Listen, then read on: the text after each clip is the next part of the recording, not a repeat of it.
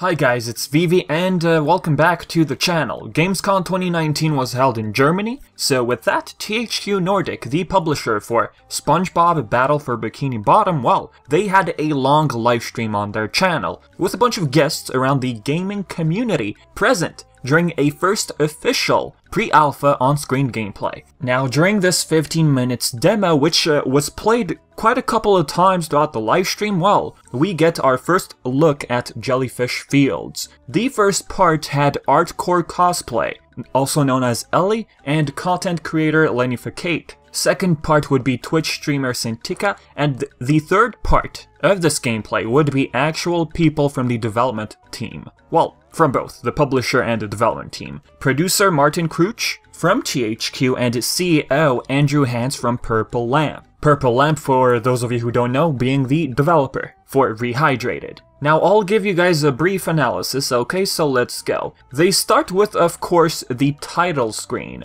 with the main theme song playing, the actual theme song from the series itself. Yes, the original game did play the song, but the feel and the tone was different. So the one you hear throughout the demo, it's the one from the TV show. Now of course, considering this is very very early footage, this might not be the title screen for the final product. As for the original, it was 3D and, you know, different. Now guys, there's lots of colors. Everyone noticed it, right? Jellyfish Fields looks much more vibrant, yes, but maybe a bit too much. Like the pink especially, eh, I feel like it's too much. Now it's alpha footage, obviously this is gonna change. I'm expecting a lot of the colors and even the lighting to change for the release. Heck, even producer Martin Kreuch said the same thing, expect colors and even lighting to change for the final product. As for the first conversation going on on screen, the camera doesn't focus on the player. Oh, let's not forget we get our first scene with Squidward. It looks awesome. There's some lines missing, alright, you know, where SpongeBob mentions he's bald. Well, about that.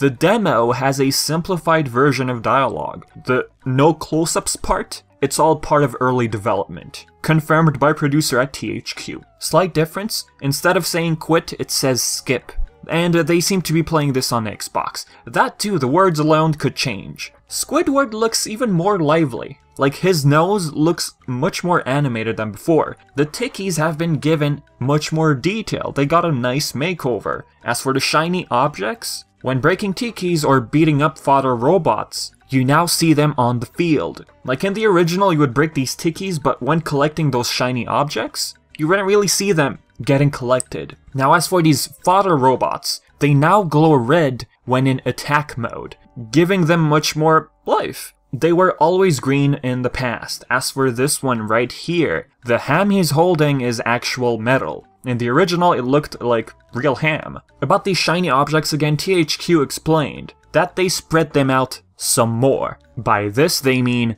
give you visual clues about some hidden locations, like this part right here for example. They don't want to overdo it of course, you know, not spoil all the secrets, but they do want to give you a better idea of what's in your surroundings. The font color even looks different. This is alpha footage, it could change. There's a lot of things we can compare. Like the spinning attack now has a rainbow effect. That one I expect to stick around, I like it. But, as I said, considering this is pre-alpha footage guys, all of these could just be placeholders. The bowling section says coming soon, the bungee hook section even says coming soon, like this is very early stuff, guys. The camera even. Uh, maybe this might be on their part, I'm not sure, but it could also be part of the pre-alpha footage. It seems to move above the player. Like compared to the original, the camera moves when you're jumping. So guys, on the left side it says pre-alpha, so I guess we shouldn't get too worried, okay? Now THQ and uh, Purple Lamp did answer some questions from the chat. The producer mentions how the original had difficulty spikes. For example, one level I can think of is Kelp Forest. Now, they did also bring up Kelp Forest.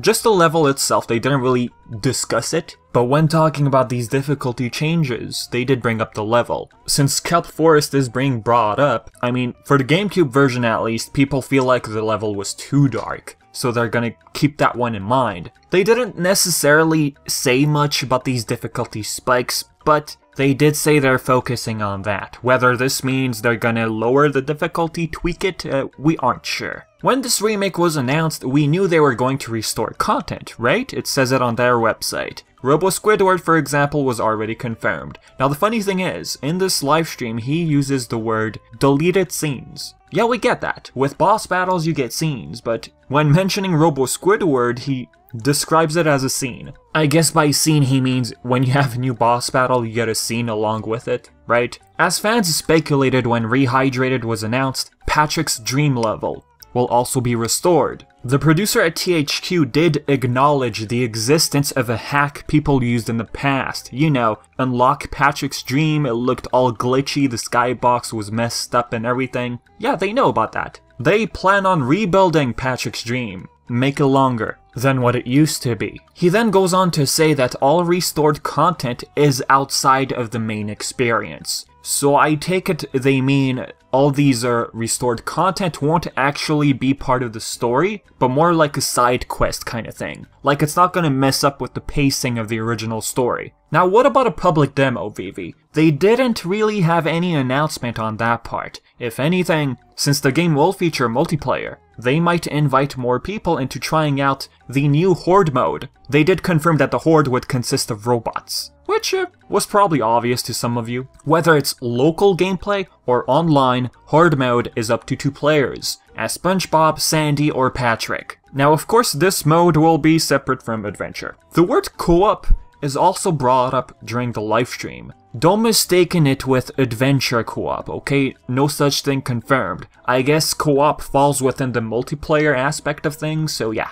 a maximum of two players online and locally. Next, CEO of Purple Lamp talks about modernizing Battle for Bikini Bottom, especially in terms of visual cues. Like in the original, tentacles from uh, King Jellyfish would still hurt you, but visually you couldn't see that. Now visually you can tell. The shock effect, all over its body, and now the top even gives you a cue to when to hit him. Now in terms of speedruns or glitches, THQ explains that hey, if this glitch isn't easy to produce for the average fan, you know, if it's hard to execute, then it's okay to leave it in. But it's something that's uh, very easily exploitable, then they're gonna have to fix that one. There's no announcement on a collector's edition, for those of you wondering. As for the cheat codes part, they said it's not out of place when it was brought up in the chat. It hasn't really been discussed with the team really. If they do add cheats, they want it to be something funny. But the thing I found weird, like the original did have cheats, right? But the way they were speaking throughout the livestream, it's like they were leaning more towards new cheats. There was no mention of returning cheat codes, but if it does happen, they want it to be funny. Someone also asked uh, about potential more SpongeBob games. It uh, really depends of the fans, you know, the typical reply if it does well, if it sells well, expect more games. Now what about the voices?